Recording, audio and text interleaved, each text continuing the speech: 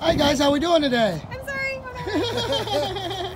Hi Jessica, how you doing? Hi, I'm great. Good, good. I heard you bought a new car from Matt here at Julian's Auto Showcase. I How did. how was Matt as your salesperson?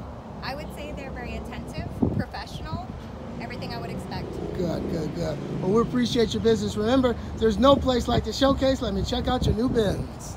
New Benz? Yeah. Heard that? Thank you very much.